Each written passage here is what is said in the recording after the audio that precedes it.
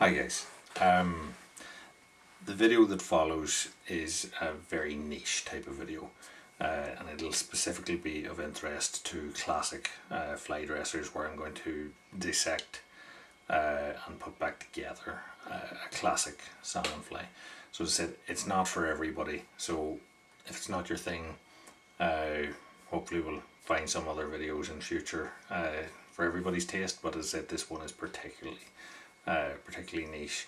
So it's also going to be quite long and drawn out. Uh, so what I'll probably do here is to split this video over several goes and we'll tie the fly in installments as I said uh, because it's there's a lot of different things going on in it and uh, but if you're still with me uh, I suppose we'll move into the video.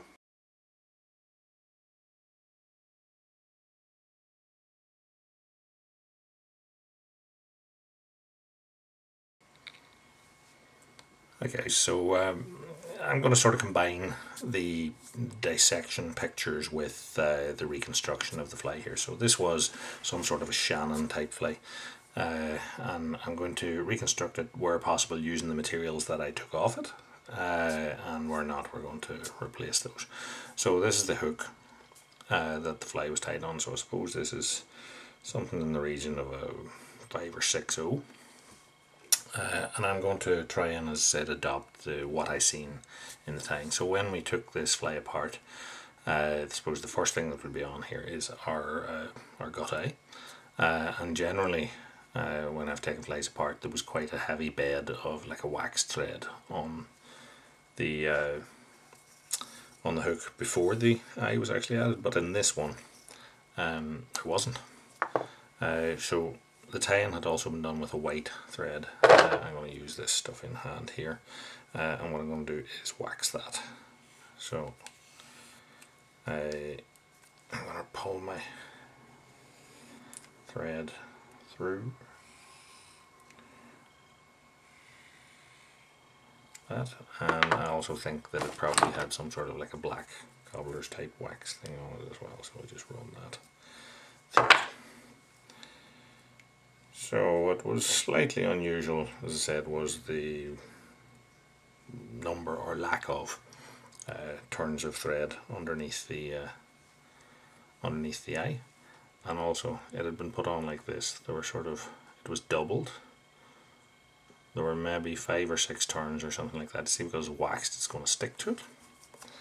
Uh, and then the eye obviously went on the underside. Now this is the original eye and I originally thought that the eye had uh, been damaged and sort of slipped because it was quite sort of bunched up here and I thought fibers had come off it but when it turned out was that it was actually a knot from a, a twisted gut leader that had been attached to it.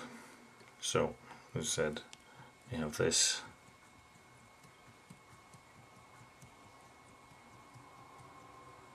sort of doubled thread to get it started.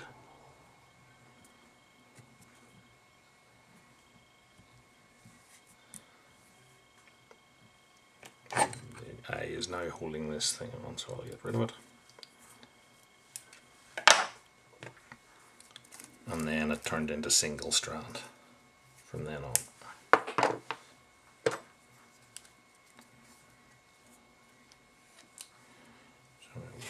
Our thread again.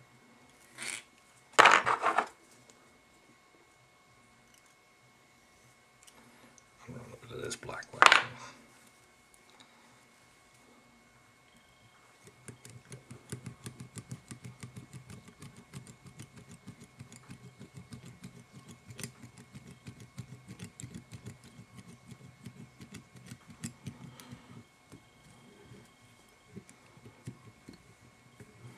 As you can see there's a little bit of taper that come into the uh,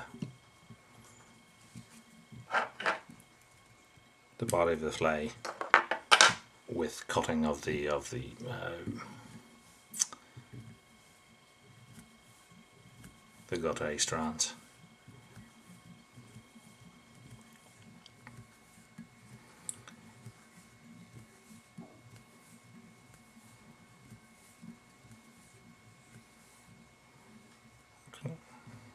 So that's basically how the fly had been started off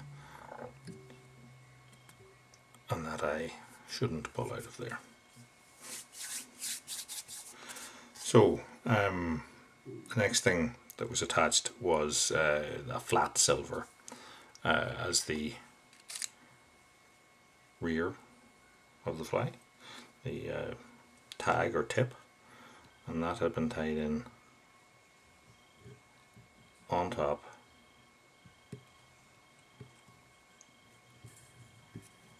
and it was quite a heavy tinsel that was then folded back on itself and wrapped backwards several turns till about there and then that came forward.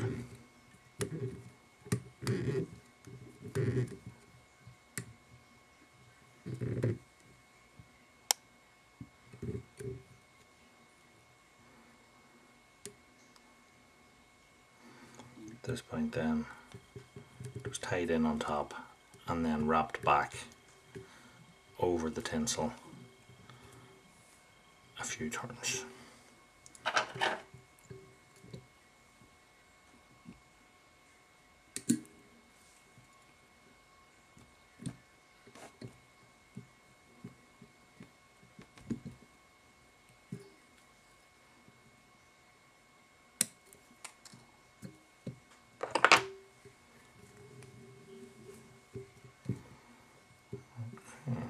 You want to tie this uh, if you're tying with uh, in hand or with an open thread no bobbin as such then you can catch your uh, thread underneath the blind eye uh, and and the gut eye and that sort of holds it in position while you sort out other materials etc so next what was on this fly was uh, an orange butt of or tag I suppose of silk.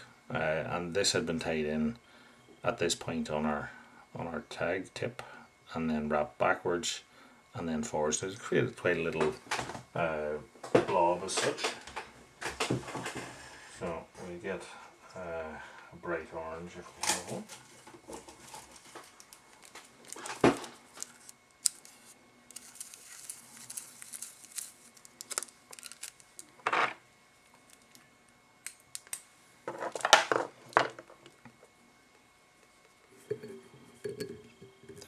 thread back off. Tie this in and come forward. Take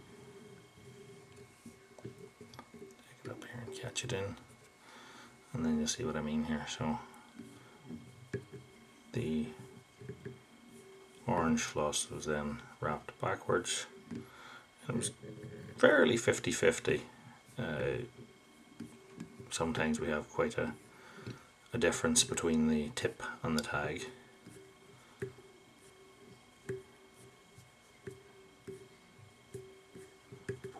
This was several wraps to create quite a blob sort of shape I suppose I'll describe it as. Take my time, silk then back again to here catch this off.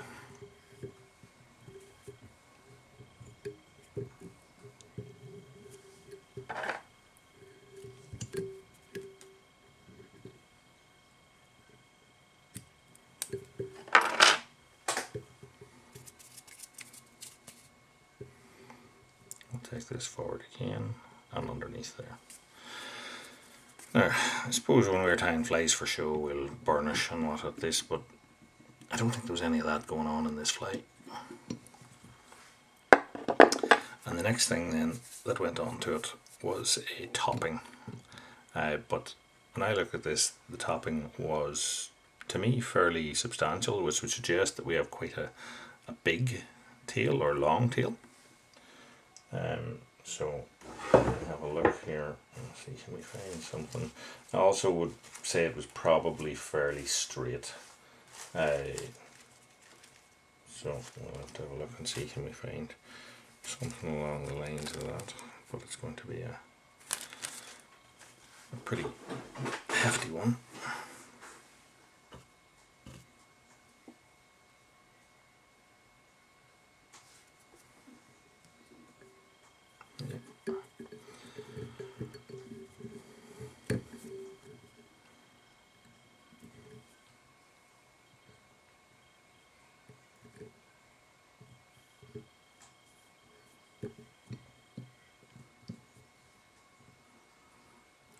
Push that till I get it on top.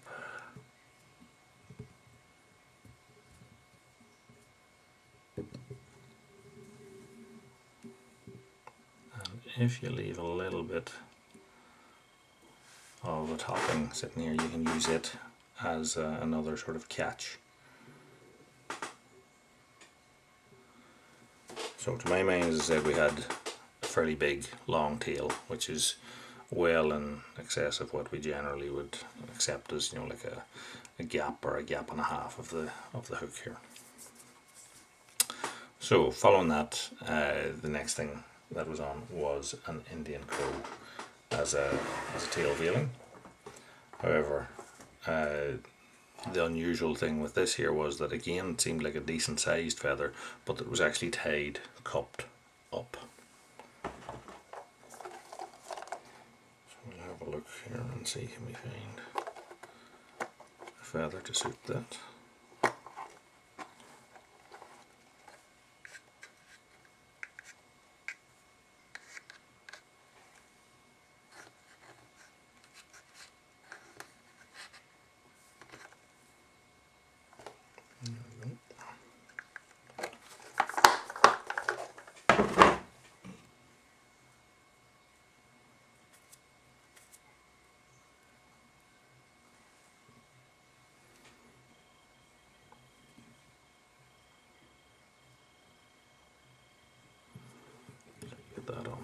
On.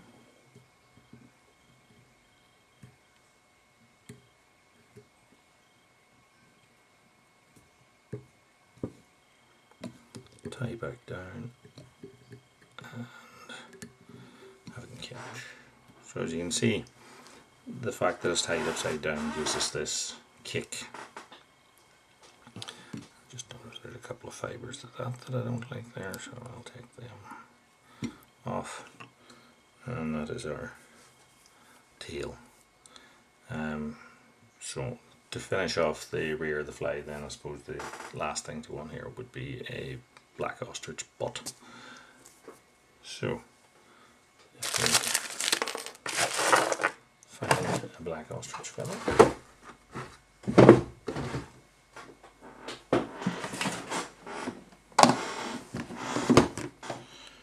here I'm using a nice tight fibre on.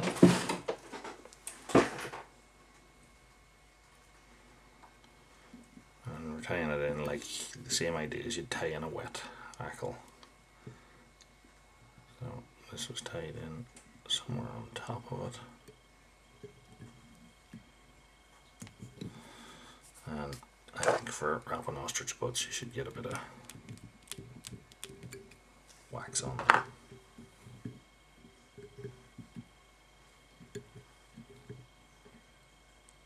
Wrap the base of it on, thread under for catch,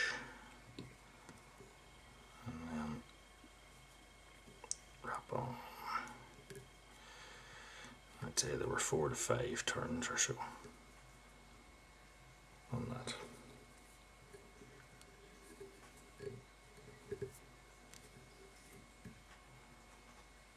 Tie it in on top.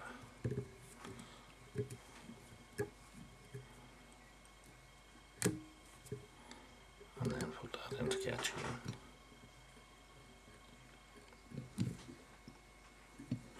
So that is the rear uh, portion of our fly tied plus the gut eye put on and I think we'll leave uh, the body then as a separate video. So uh, if you like what you see like subscribe. As I said I know it's a niche sort of a video and it's been kind of it's going to be quite intricate. Uh, but if you like what you see give us a like subscribe tell your friends and until next time tight lines and thanks for watching